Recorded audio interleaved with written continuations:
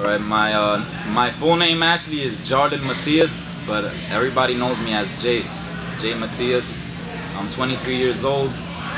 I'm a professional Muay Thai fighter and also an instructor. Uh, I've been training for seven years, and today I'm here in uh, Houston, Texas at Revolution Dojo doing a two-day seminar for the Muay Thai uh, team and students, and uh, it's an open seminar for all experience levels and they had uh I mean I got the perfect opportunity to come down here and spread the knowledge because uh I believe there's no limitations.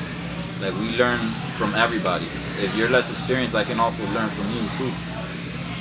So that's what I'm here for spreading the knowledge and uh, loving what I do man. You couldn't pay me to do this.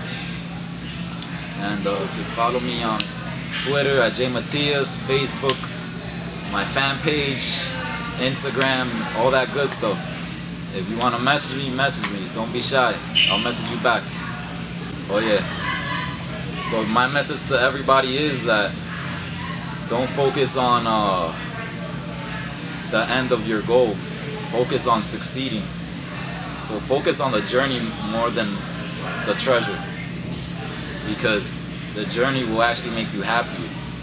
So don't focus on the money, focus on getting on the journey. So I'm happy because I love what I do. And my journey doesn't stop because I don't believe in limitation.